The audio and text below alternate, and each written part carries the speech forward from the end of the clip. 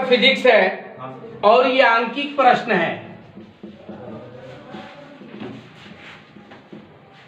Question number एक।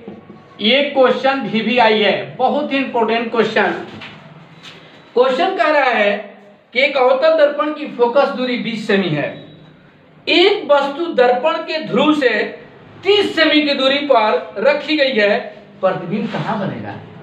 यानी कि बोल रहा है कि एक अवतल दर्पण की फोकस दूरी 20 सेमी है। तो अवतल दर्पण की फोकस दूरी को एफ़ से सूचित करते हैं। और ये स्मॉल एफ़ होना चाहिए। अवतल दर्पण की फोकस दूरी 20 सेमी है। एफ़ बराबर 20 सेमी। लेकिन मैं पहले ही बता चुका हूँ निर्देशांक चिन्ह परिपाटी में कि अवतल दर्पण की सारी दूरियाँ ऋणात्मक होती है। तो एफ़ जो होगा, माइनस एफ़ होगा। लेकिन अचर, चर माइनस में नहीं होता है। अचर माइनस में होता है। तो एफ़ का मान माइनस बीस सेमी फिर कह रहा है कि एक वस्तु दर्पण के ध्रुव से 30 सेमी की दूरी पर रखी गई है। तो वस्तु की दूरी को यू से सूचित करते हैं।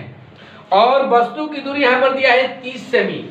तो चूँकि हम जानते हैं निर्देशांक चिन्ह परिपाटी के बारे में पहले ही वर्णन कर चुका हूँ कि निर्देशांक चिन्ह परिपाटी के अनुसार अवतल दर्पण की सारी दूरियाँ ऋणात्मक होती है। तो यहाँ पर यू का मान क्या हो जाएगा? माइनस तीस सेमी करें कि प्रतिबिंब कहाँ बनेगा? तो प्रतिबिंब की दूरी को भी से सूचित करते हैं। यानी बी भी इक्वल टू वाट भी का मान निकालना है। यहाँ पर एक सूत्र का यूज़ करेंगे।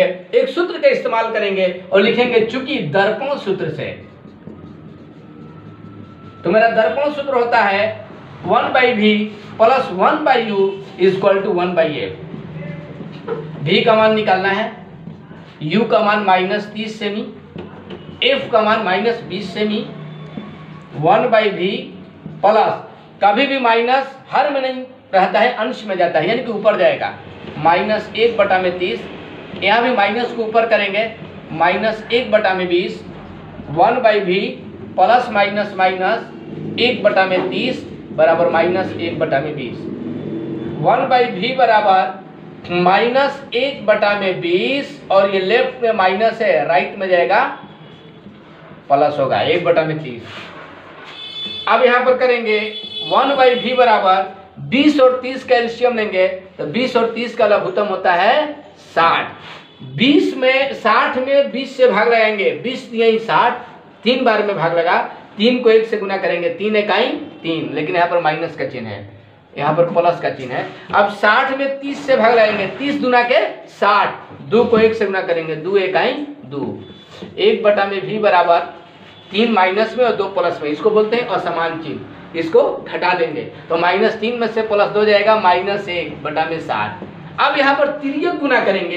भी को माइनस एक से गुना करेंगे, माइनस भी साठ को एक से गुना करेंगे, साठ। या भी इक्वल टू माइनस जो है, चर से हटेगा, अचर में जाएगा, माइनस साठ। अब माइनस का कोई वैल्यू नहीं होता है, माइनस को हटा देंगे। इसलिए भी इक्वल टू साठ सेमी यही आपका हो गया आंसर